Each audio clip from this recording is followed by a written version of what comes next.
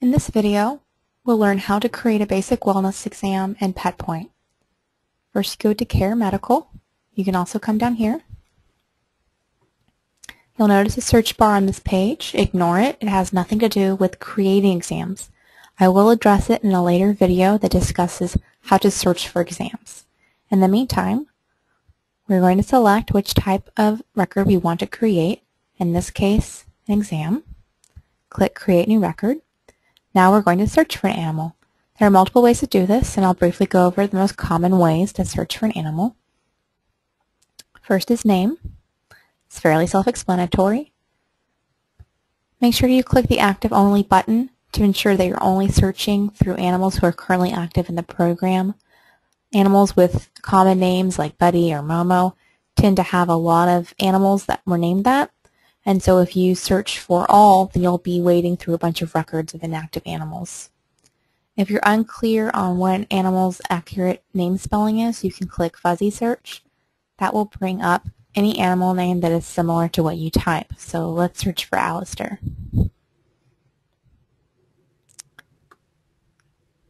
As you can see, it's brought up a lot of names that begin with AL. Right here we see we have two Alistairs, and they're both active and they're both cats. So a, a good way to identify which one you're looking for is to come over here to location. Location um, for our programs is typically foster. It does also include adoption centers, but in this circumstance you can see that the Alistair that you're looking for may have Laura Shirley's name attached to it, so you would select this one like that. You can also search entirely by location in case you don't have the name.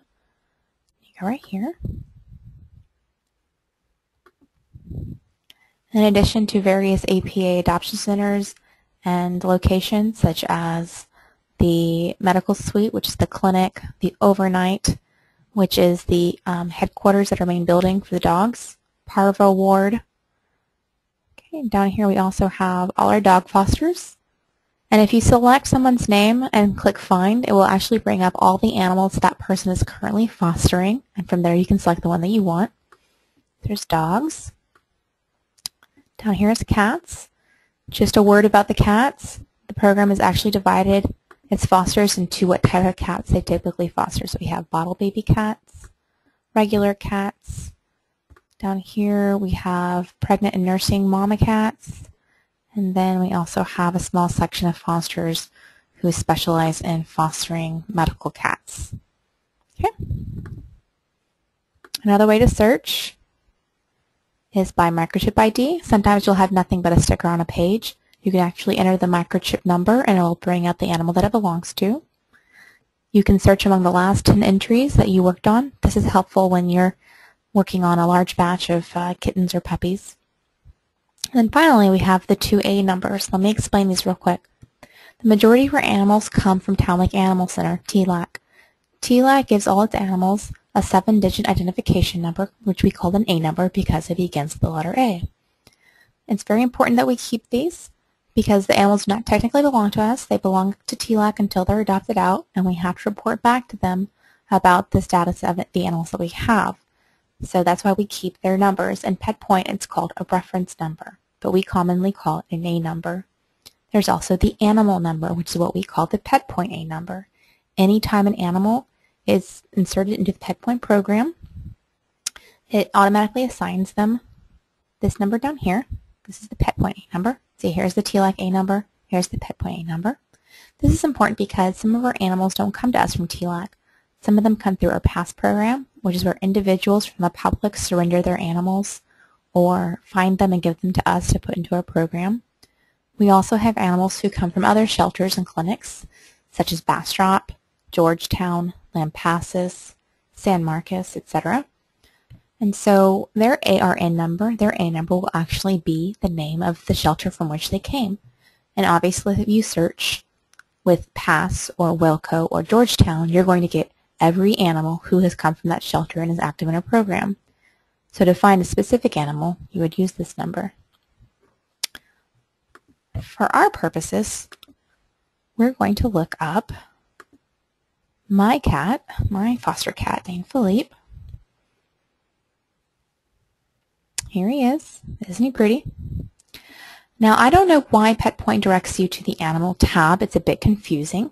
Um, this is a new feature that PetPoint offered in the medical rollout.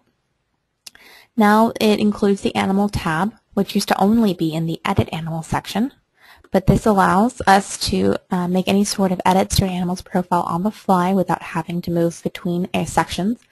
Um, it's helpful for, you know, if you're doing work like that, but it's not necessary to the um, uh, creation of medical records except for when you're creating one record for multiple animals, and I'll explain that in another video.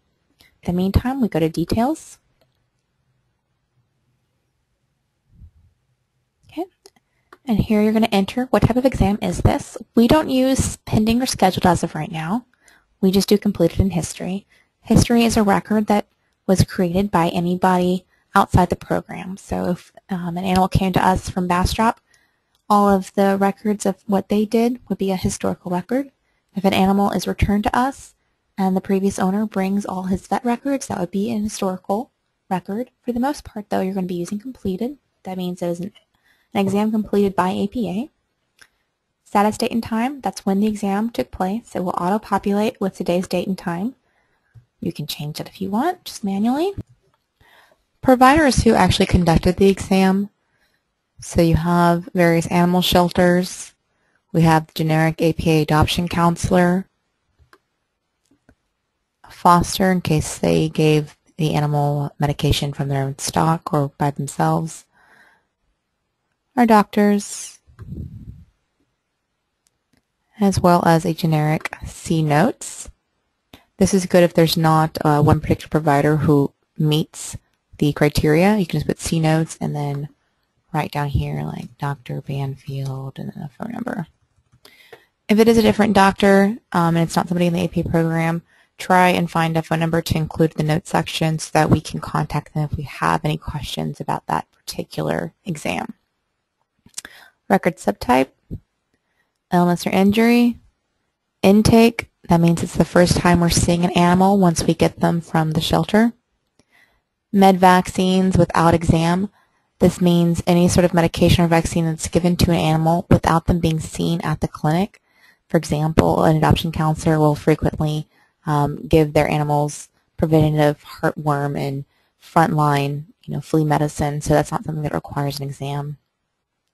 Other vet or shelter, phone or email correspondence. If a tech is talking to um, a foster via phone or email or another vet and the animal is not seen in that clinic, then the notes would go down in the notes section and this would be classified as a phone or email correspondence exam. Post-adoption, just what it sounds like. Uh, frequently will happen is if we have a dog, for example, who's on heartworm treatment and they get adopted, uh, we may have agreed to continue giving them the last few treatments, and so any visit to the clinic would be a post-adoption exam. There's surgery, and then there's wellness. That's basic preventative medications and vaccines. So it's the same as this, except the animal is actually seen in the clinic. When in doubt, just put wellness exam and then put notes down here. Review date and time. If the vet or technician wants to see them in you know a couple days, maybe it says on the paper, uh, you know, recheck bandage in two days or uh, retest in two weeks or you know um, follow-up visit in three weeks and you just put the date here. Weight, say he's 11 pounds. Let's say he had a fever. You won't typically use these fields, but they're here if you need them. Templates. Sometimes we have routine exams, and rather than write out all that information over and over again, we have specific templates, like uh, the bottle baby exam. You're going to hit append so that it'll show up here and you can add any notes. See? These are typical um, diagnostics that every litter of uh, bottle baby kittens goes through when coming into a program. So you can put like uh, nasal discharge, fleas, down here for diagnostics. You can put, you know, um, tested negative for FELV, and then any sort of like Strongyne, Capstar, anything like that.